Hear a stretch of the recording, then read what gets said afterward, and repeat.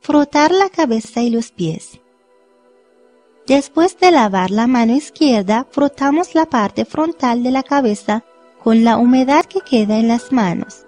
Para frotar la cabeza no hace falta hacer llegar el agua a la piel, sino que es suficiente frotar sobre el cabello.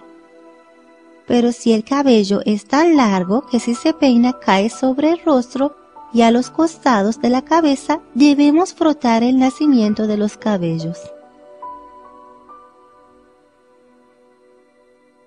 Las personas calvas deben considerar el lugar que frotan las personas que tienen cabello. Es suficiente con frotar el cabello en cualquier medida, pero lo preferible es que su ancho sea de tres dedos cerrados y su largo de un dedo. Hay que tener cuidado que la humedad del frotamiento del cabello no se una a la humedad del rostro.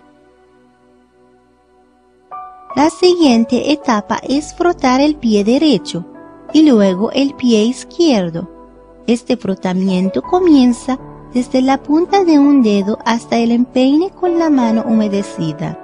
De acuerdo a la fatwa de algunos marjas, se debe frotar hasta el principio del tobillo.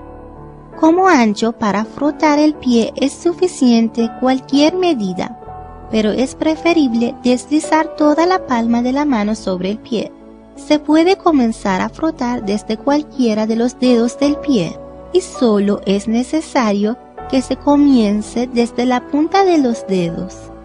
Asimismo, es necesario deslizar la mano sobre la misma piel del pie y no debe haber entre ellos ningún obstáculo, ni siquiera medias delgadas. En el vudú yavirá se puede frotar sobre la tela no es necesario que la persona que tiene una pierna ortopédica frote el pie. Pero si tiene aún parte del lugar que debe frotarse del pie normal, es necesario frotar esa parte. Cuando frotamos la cabeza o el pie, ese miembro debe estar quieto y no será correcto si se lo frota mientras está en movimiento. El lugar que se frota debe estar seco y si está húmedo, hay que secarlo antes de frotar a fin de que la humedad con la que se frota sea mayor.